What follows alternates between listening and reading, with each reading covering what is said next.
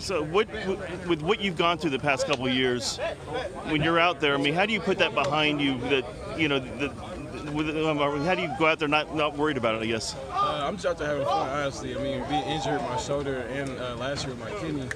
I'm just taking every day by day. I'm just I'm just loving playing football, being back out there. Does it does it drive you in some ways? Maybe give you more energy out there? Yeah, I mean, I kind of kind of have a chip on my shoulder because a lot of people kind of overlook me. You know, I haven't played a lot, so they don't really know what I can do. But I just want to go out there and show people what I can do, show my talent.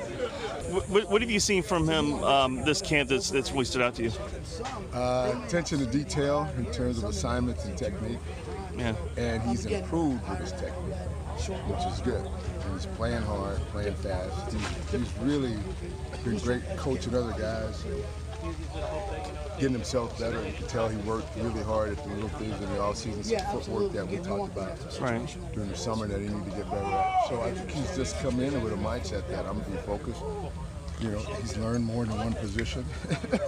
Really? yeah, yeah. So we, we got to have him ready.